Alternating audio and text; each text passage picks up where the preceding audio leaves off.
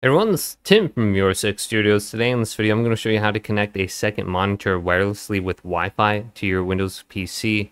So just right click on the desktop, go to display settings right here, and then wait for this load, and then go to the down arrow under multiple displays.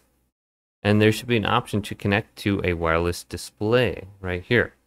Now when you press this button, uh, we're going to be brought to this screen and it's going to show up in the bottom right side of the screen it'll say connect to a wireless display cast.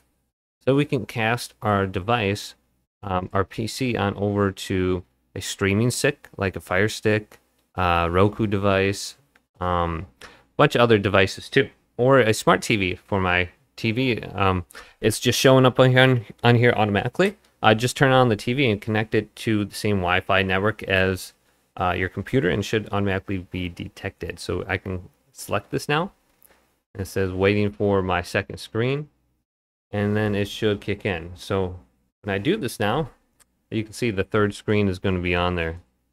And I can just drag this around to a different location. I can go on down. I can look under advanced display.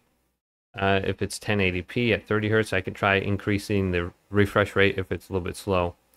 But to disconnect this now, just go to the display, disconnect this display and it should go back to normal now. Go to keep changes. So hopefully this quick little video did indeed help you out. If did, leave it a big thumbs up and subscribe my channel down below.